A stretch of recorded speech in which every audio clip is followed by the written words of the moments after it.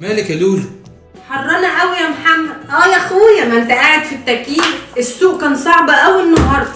ولا تزعلي نفسك يا ستي. أنا هساعدك النهارده على الغدا وهريحك على الآخر. قولي لنا بقى جايبة إيه؟ ده بجد؟ جايبة حاجات المحشي وجايبة لحمة؟ إشمعنى محشي النهارده؟ عشان صاحبتي جاية تتغدى معانا النهارده. طب يلا جهزي حاجة المحشي وأنا هساعدك. يلا مش هخليك تمدي إيدك في أي حاجة. أنا جهزت لك الخلطة اهي ورق العنب والكرنب واللحمة اهيت وجهزت لك كل حاجة. خلاص كده؟ بس أنا خايفه يا بنتي عيب عليك ده أنا كنت مسؤول عن المطبخ في الجيش ثلاث سنين. متأكد؟ يا ست روحي انت يلا غيري وروقي البيت عشان صاحبتك.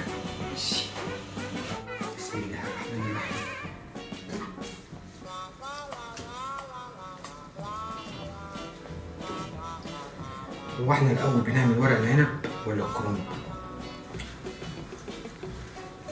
واكتب لي كده؟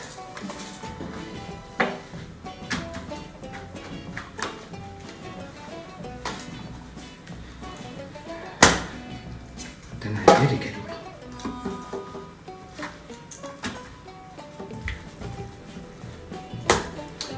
إيه الشغلانة دي؟ ما إحنا بناكله كله على بعضه في الآخر.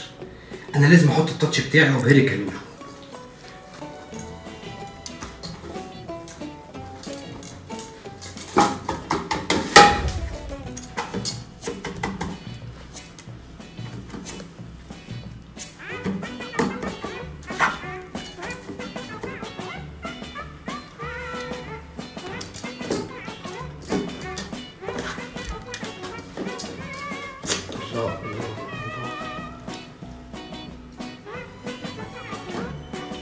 أسهل وأسرع.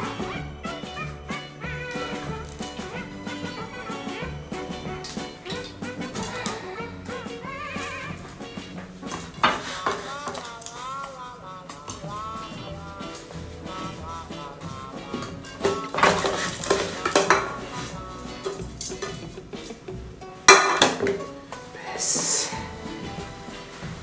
خلصتي يا حمودي؟ الناس فاضل عليهم شوية ويجوا عيب عليك خلصت طبعا. تسلم ايد الحلوين اللي بيساعدوا مراتاتهم يا ولاد. يا سنة سودة. إيه ده يا محمد؟ ده محشي ده ولا إيه؟ قلتم على وشي. إيه يا لولو حولت بسرعة كده ليه؟ اتحولت؟ فين المحشي؟ فين صوابع الكرنب فين صوابع ورق العنب؟ دي صينية رقاق صح؟ قول لي إنها صينية رقاق. أقول إيه للناس؟ اهدي اهدي بس أنا هفهمك. إحنا في الأول بناكل صبع ورق عنب وبعديه بناكل صبع كرنب. أنا بقى عملت لك الجديد عملت لك mix. mix؟ وده بيتاكل إزاي؟ بإيدينا ولا بالكبشة؟ ما تهدي يا لولو. أهدى. المهم دلوقتي فين اللحمة؟ يا تعبك يا لولو في السوق طول النهار وفي التسبيكة وسليق الكرنب يا حظي. اللحم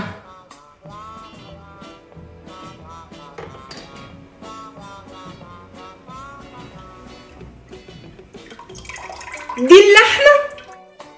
هي محتاجة شوية سوا كمان.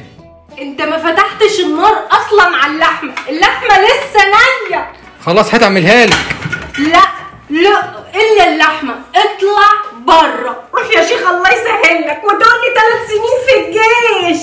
أنا غلطان إن أنا عايز أساعدك. ومش عايزة تقولي كلمة شكرا حتى. امشي اطلع بره يا شيخ. أنا نسيت أقول لك إن أصلا في الجيش ما بياكلوش محشي. بره